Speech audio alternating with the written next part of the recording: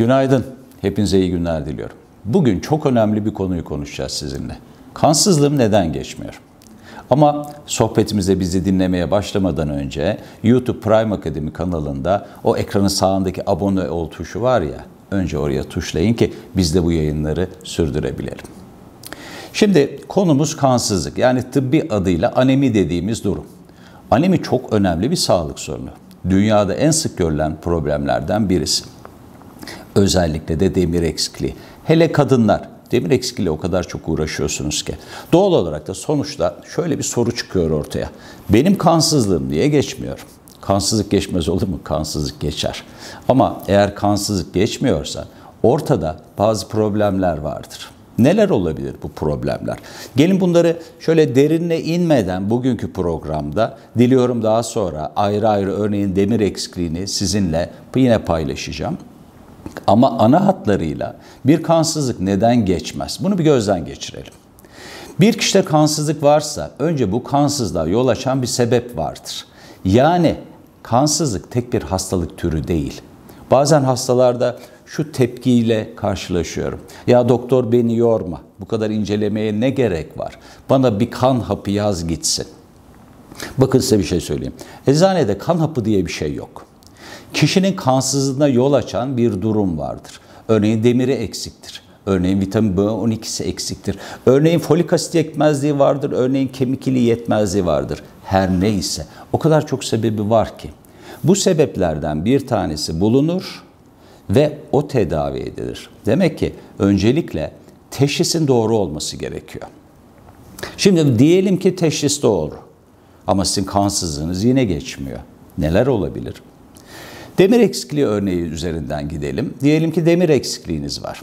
Şimdi burada çok can alıcı bir soru geliyor. Niye Ayşe Hanım'da demir eksikliği yok da Fatma Hanım'da demir eksikliği var? Veya niye Ahmet Bey'de yok da Mehmet Bey'de demir eksikliği var? Demek ki demirin düşüklüğünü tespit ettikten sonra bu demir eksikliğinin sebebini düşünmek gerekiyor. Bakın kadınlar için söylüyorum. Tüm dünyada demir eksikliğinin en sık görüldüğü grup kadınlardır.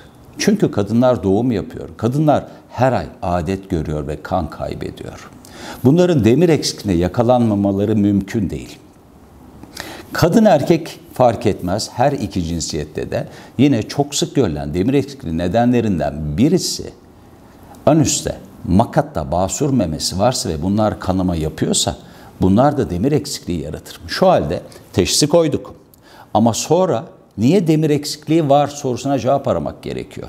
Biz bu cevabın peşine düşmezsek, örneğin aşırı adet kanaması olan bir hastamız varsa biz demir tedavisi veriyoruz ama kansızlığı geçmiyor. Demek ki işin bir ucunun da kadın doğum doktorlarıyla olan bir bölümü var.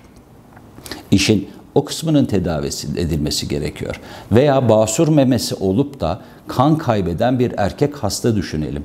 Eğer biz uygun yöntemlerle basur memesinin kanamasını kontrol altına almazsak siz elbette kansızlığınızın tedavisinde başarılı olamayacaksınız. Sık görülen iki örneği verdim ama bunun dışında da çok sayıda örnekler var. Herhangi bir sebeple midesi çıkartılanlar, son yıllarda kilo verme amacıyla midesinin bir kısmı alınan çok sayıda hasta var. Demirin iyi emilebilmesi için sağlam bir mide gerekiyor. Çünkü demirin emilmesi için midenin asidine ihtiyaç var. Bu da sebeplerden birisi. Bunun dışında çölyak diye bir hastalığı duyanlarınız vardır. Hani glutene hassasiyet gösteren bir hastalık türü. Bunlarda da demir eksikliği olabiliyor. Şimdi bu bahsettiğim boyut önce teşhisi koyduk. Ardından sebeplere yöneliyoruz. Sebeplerle ilgili bir örneği daha paylaşmak istiyorum. Bu kısa bugünün sohbetinde. Örneğin vitamin B12 eksikliği varsa ve B12 eksikliğine bağlı kansızlık oluşmuşsa doğrudan sebebi araştırmadan B12 vermeye kalkarsanız tedavide başarısız olma ihtimaliniz var. Neden birisinde B12 eksikliği oluyor da öbüründe olmuyor? Örneğin kişi vejeteryandır, et yemiyordur. Bunda vitamin B12 eksikliği olacaktır. Bu tür B12 eksikliklerinde ağızdan hapla olayı tedavi edebilirsiniz. Ama vitamin B12 eksikliklerinin bir kısmı emilim bozukluğuna bağlıdır.